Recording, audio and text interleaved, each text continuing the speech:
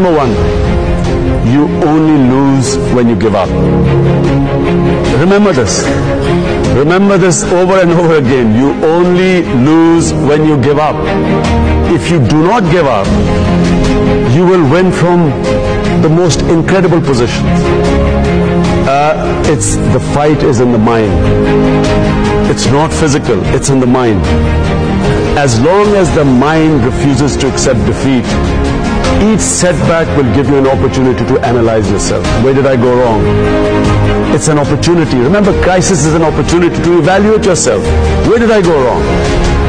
Correct that, pick yourself up, you again move on, and you will find that you will get stronger. Each time you pick yourself up, you come back stronger. This is what the human being is.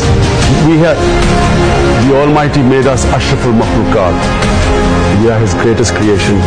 But, only, as Iqbal said, to become the Shaheen, you have to break the chains. This chain of, the moment you say it's impossible, it's impossible. But as, and whatever you can dream, remember this, whatever you can dream, whatever you can dream, you can achieve. If you can visualize something, you can achieve it.